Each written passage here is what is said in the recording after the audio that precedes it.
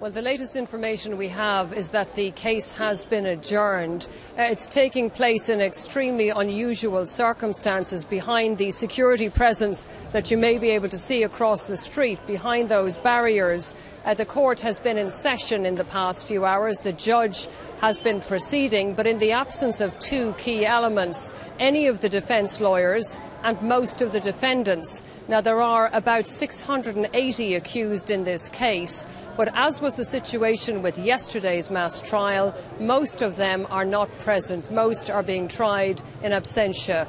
Uh, lawyers here locally have been telling us that only 62 are in court. That number does not include uh, a key figure in this trial, the spiritual leader of the banned Muslim Brotherhood, Mohammed Badie. Now, the authorities say he was not brought for security reasons. The defence lawyers are not up the road inside the court because they have imposed a boycott.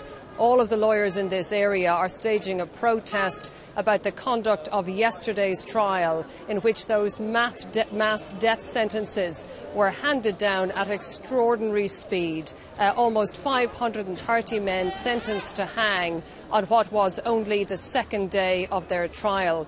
So the lawyers have stayed out of today's proceedings. The judge has gone ahead without them. They tell us that he has been hearing evidence from eyewitnesses. He has apparently even been questioning some of the defendants, although their legal representatives are not present.